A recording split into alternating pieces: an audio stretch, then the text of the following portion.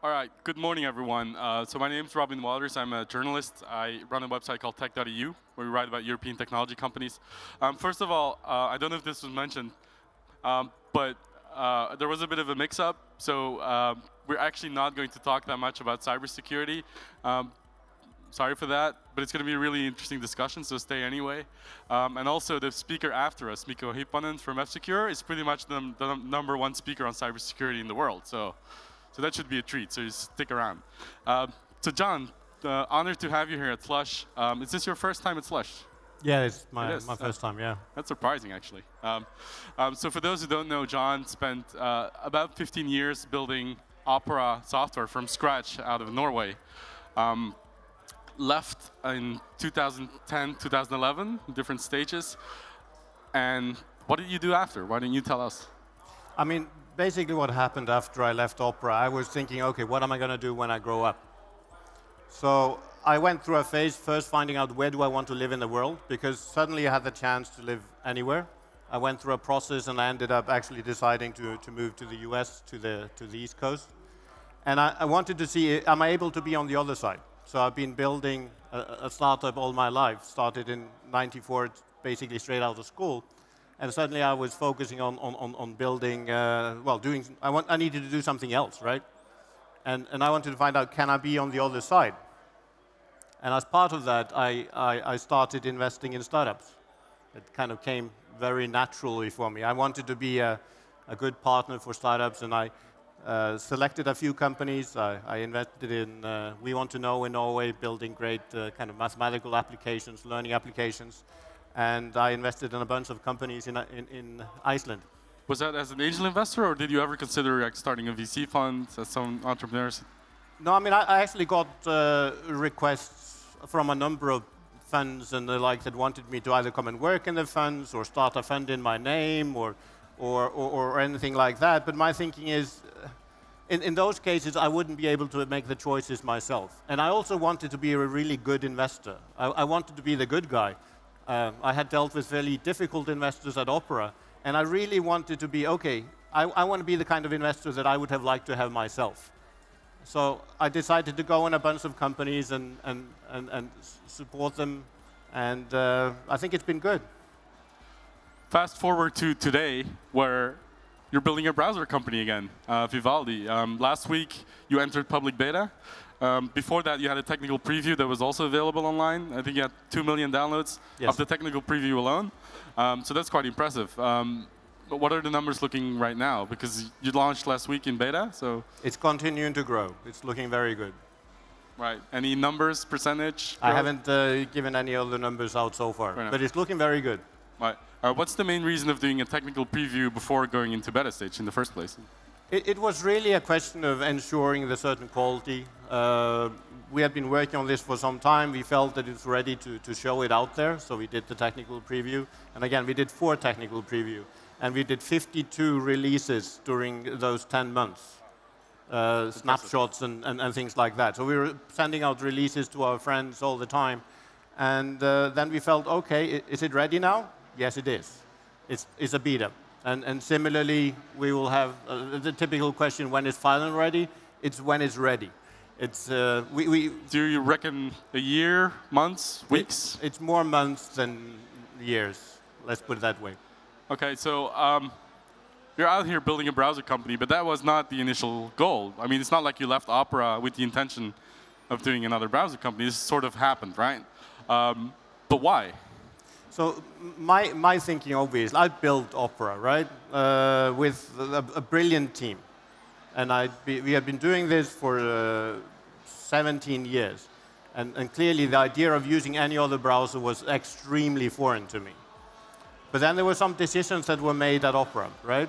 We had built our own kernel, our own browser kernel, Presto, which was a fantastic piece of code. The guys that made this were obviously brilliant. Uh, we had a piece of code that would run on almost anything with hardly any memory. It was memory safe, it was fast, it was a brilliant piece of coding. Uh, but Opera didn't feel that it was worthwhile building it anymore, so they threw it away. Okay? That's one thing. The second thing is Opera also felt that um, they wanted to address a bigger audience, right? So Opera was always a browser with a ton of features. And they decided, okay, we don't want those features anymore. And we'll build a simpler browser because we'll get a bigger community by doing that. It, it, it's a choice, but all those users that were using the desktop version of Opera, about 60 million, a lot of them had chosen it. I mean, no one really got it with a computer, so all of them had made a conscious choice to choose it, and the reason why they were using it was the features it had to offer. And they were unhappy. Um, they were really unhappy, and um, they started sending me emails, can't you do something about this? Can't you help us? Um, and I mean, there was a lot of discontent, which actually, I mean, Opera ended up closing down their community site and uh, ch changing it into forums. And I think that's maybe, maybe in some related also cost, just saving money, saving money, saving money. So um, I thought, okay, the users are unhappy. Uh, I was in a similar situation. I had been using this browser for all this year, and suddenly it didn't look the same. Yes, it had the same, it had the same logo.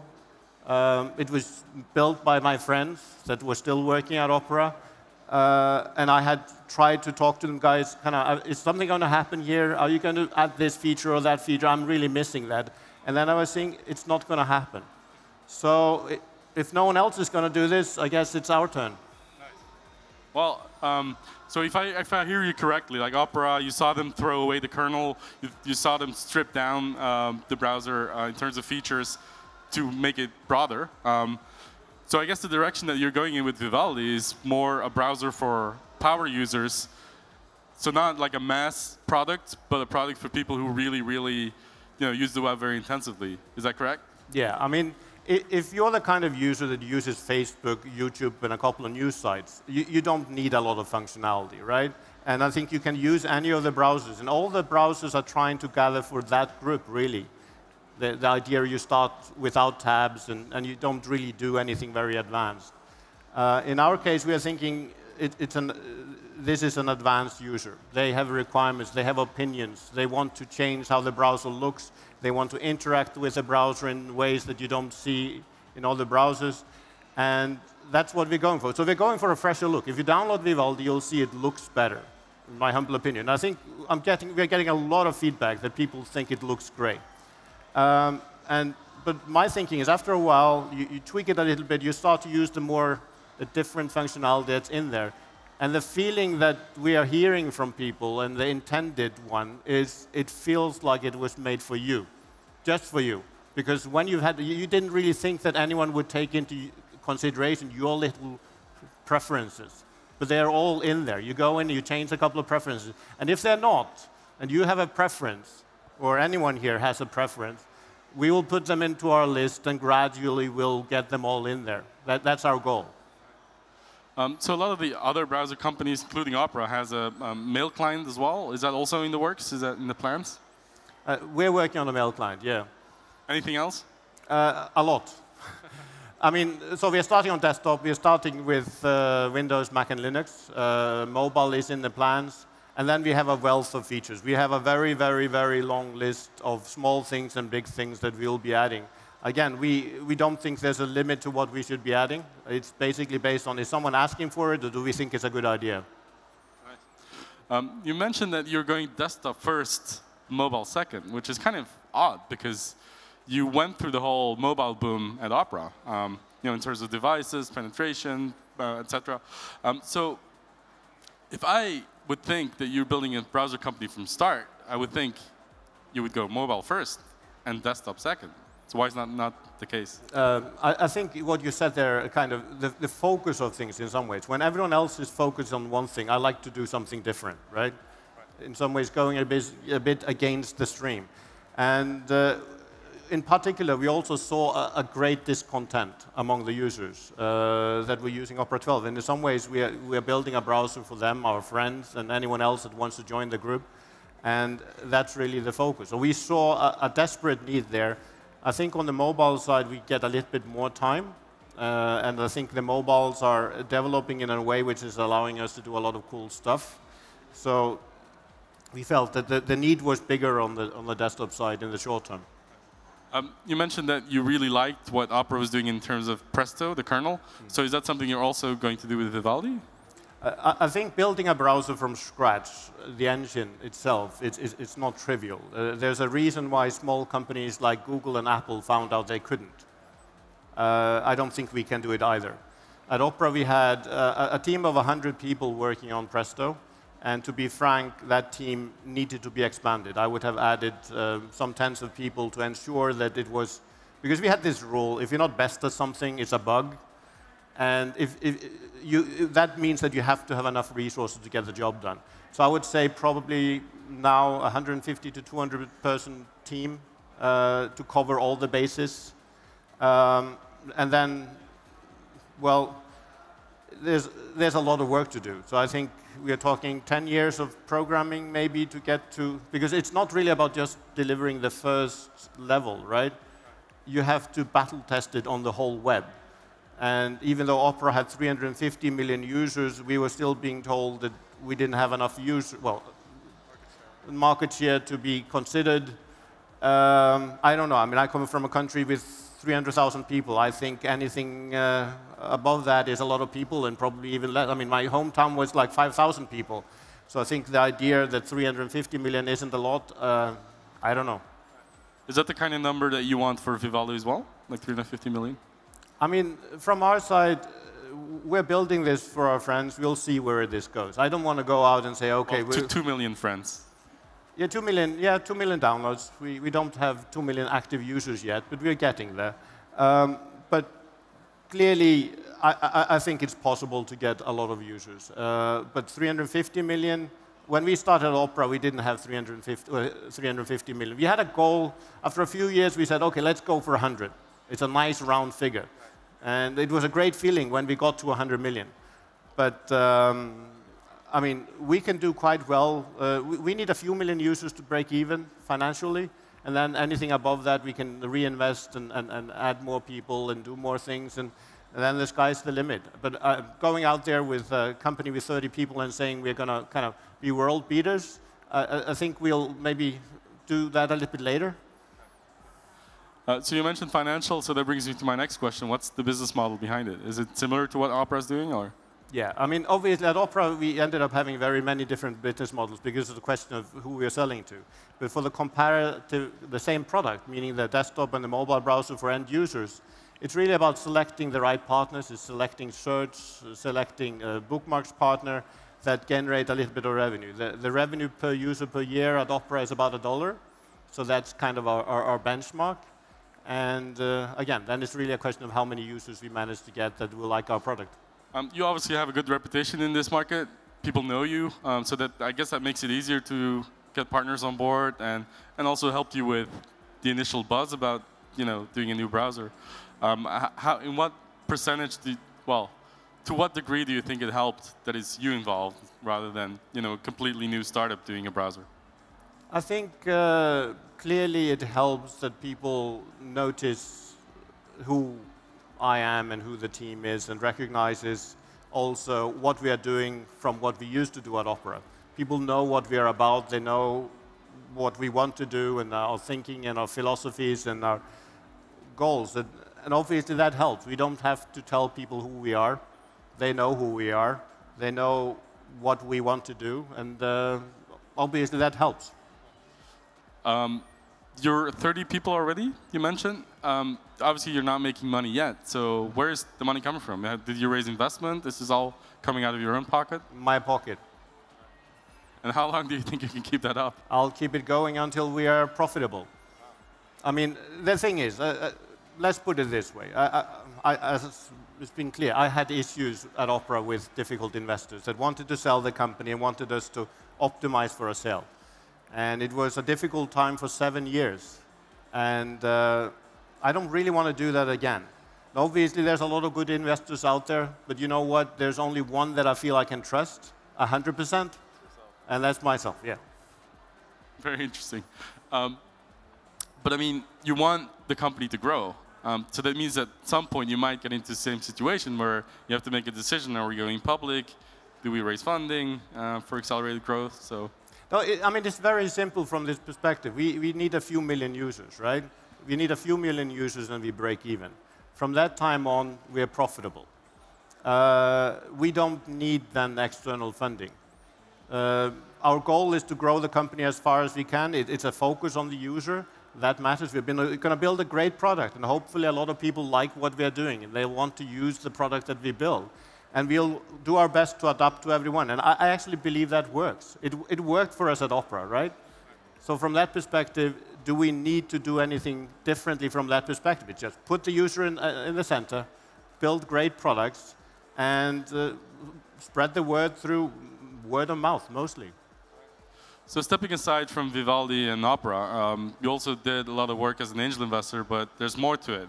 Um, Innovation House, for example, in Iceland. Can you elaborate on that? Yeah, so I mean, when I started to work with these different, uh, I, so I invested in a number of companies, and in some ways I was also thinking, wouldn't it be nice to have a place for startups the kind of place that I wanted to have, not the, the automatic accelerator or anything, just, just a place, a nice place uh, at a cheap price. So we did that. We, we found this uh, office space that had been uh, empty for some years. This is in Iceland, This right? is in Iceland, in my hometown of, of Seltjarnarnes, which uh, has about 5,000 people in it, which is on the suburbs of Reykjavik, basically. And we found this building, and uh, about 800 square meters, and, and we could put in some startups there. So between 15 and 20. We've been 20. We've been going a bit down because some of the companies have been growing, like Vivaldi. We've taken up more offices, so, and there's a few others that are doing the same. Um, we're then doing things slightly different. We, we, have, some, um, we have some apartments. Uh, so we can have guests. And, and we like that. And we actually then have gatherings there for the Vivaldi team, and we stay there together because we are, as a team, we are distributed. So we are one of those that are utilizing those facilities. Um, and then in the US, I put up another one. I found this old hotel from 1880, and it has 17 bedrooms. And it's kind of another, it's a gathering place. So it's a gathering place for those that are coming from Iceland or Norway. I, I have I work with a startup lab in Oslo as well. Uh, I'm in, in a founders fund that they have there associated with the startup lab. So we, we receive companies from, from Iceland and Norway, and they come and they stay with us. Uh, some of them are coming for kind of just working for a while. In the case of Vivaldi, we go there um, for one month or as, as long as people can during the month of June. We um, include families. And you, you, because we're distributed, it's extremely important to get this kind of feeling. And during that month, we get to know each other really, really, really well. And the families get to know each other also really, really well. And, and, and they have time off. So it's a, it, it, it, it's a great thing. It's a great way of working. I really like that approach. Yeah, kudos. Um, so, as an active, well, as an experienced executive and entrepreneur, but also as an active angel investors, maybe for the startups in the room, um, what, what, are some of the tips that you would like to pass on to the, like, the new generation of startups? I mean, it, it's really hard to give generic advice. Um, in, in, many ways, for me, the important thing is do not have an exit strategy, right? Think about that you're going to grow your company forever. I hate it when they have, sometimes when they have these startup uh, kind of where they're showing off the startups and they all go up there and say, in three years, you'll get your money back 10 times. You're putting, your, I mean, you're putting yourself in a situation for a big fall. Most companies don't survive five years. But if, you, if you're saying, OK, I'm going to build the company one, after, one, after, one year after another, I'm going to build the company up, and I have a plan to win, I mean, to basically su survive. And, and, and, that's what you're going for. I, I think that's really important. And from that perspective also, trying to avoid investors as long as you can. You do need them. And then selecting uh, great investors. Select someone that will support you all the way and that is, is not looking for a quick exit, which is why you should not try to pitch a quick exit. Try to get the ones that want to be with you for a number of years, and, and, and obviously you have to provide an exit for your investors, but, but you should be, uh, as a company, you may get sold but I mean, it, it's not because someone buys you. It's not because you built the company for a sale. So, so for me, me that's, a, that's an important thing, that you, that you have a goal with what you're doing. And the goal is actually you're building this product because you really believe in them, not because you believe in the business plan, something. I, I don't know. I, I think people that do things out of passion have a bigger chance of succeeding than people that do it because of an Excel sheet. That's great advice. Um, so we're out of time, but welcome back to the browser wars, I guess. Uh, if you haven't tried Vivaldi out, you can download it right now. Uh, what's the website? Vivaldi.com. Where does the name come from, by the way? Um, Is there a connection with opera, Vivaldi? I mean, there's some connection, but actually, uh, I just liked the name. We liked the name. Uh, I had been using it for my investment company, and I've been trying to find, okay, isn't there a nice company name that has this nice ring to it that doesn't have strange spelling or anything like that? And I looked and I looked and I looked, and uh, then someone, uh, I think a, a couple of people, including my son, said, why don't you use Vivaldi? You already have that. And I checked and I found, hey, it's not in use. I can buy the domains uh, for a bit of money, but I can buy them. So, Vivaldi.com, check it out. Jon, thank you very much for the thank chat. You.